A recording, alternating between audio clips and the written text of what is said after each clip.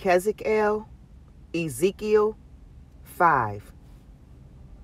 And you, son of Adam, take you a sharp knife, take you a barber's razor, and cause it to pass upon your head and upon your beard. Then take you balances to weigh and divide the hair. You shall burn with fire a third part in the midst of the city, when the days of the siege are fulfilled. And you shall take a third part, and smite about it with a knife. And a third part you shall scatter in the wind, and I will draw out a sword after them. You shall also take thereof a few in number, and bind them in your skirts. Then take of them again, and cast them into the midst of the fire and burn them in the fire. For thereof shall a fire come forth into all the house of Yashar'el. Thus says Adonai Yahweh, This is Yerushalayim. I have set it in the midst of the nations and countries that are round about her.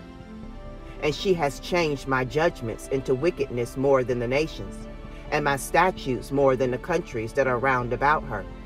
For they have refused my judgments and my statutes they have not walked in them. Therefore, thus says Adonai Yahweh, because you multiplied more than the nations that are round about you, and have not walked in my statutes, neither have kept my judgments, neither have done according to the judgments of the nations that are round about you. Therefore, thus says Adonai Yahweh, Behold, I, even I, am against you and will execute judgments in the midst of you in the sight of the nations. And I will do in you that which I have not done, and whereunto I will not do any more the like, because of all your abominations. Therefore the fathers shall eat the sons in the midst of you, and the sons shall eat their fathers, and I will execute judgments in you, and the whole remnant of you will I scatter into all the winds. Wherefore, as I live, says Adonai Yahweh. Surely, because you have defiled my sanctuary with all your detestable things and with all your abominations, therefore will I also diminish you. Neither shall my eye spare, neither will I have any pity. A third part of you shall die with the pestilence, and with famine shall they be consumed in the midst of you. And a third part shall fall by the sword round about you. And I will scatter a third part into all the winds and I will draw out a sword after them. Thus shall my anger be accomplished, and I will cause my fury to rest upon them, and I will be comforted. And they shall know that I, Yahweh, have spoken it in my zeal, when I have accomplished my fury in them.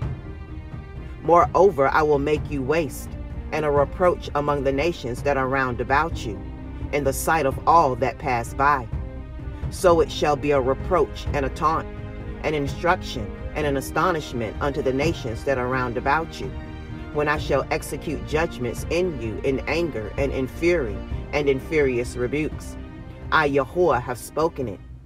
When I shall send upon them the evil arrows of famine, which shall be for their destruction, and which I will send to destroy you, and I will increase the famine upon you, and will break your staff of bread.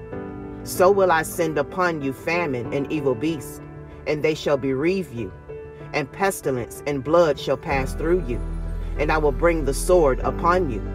I, Yahweh, have spoken it.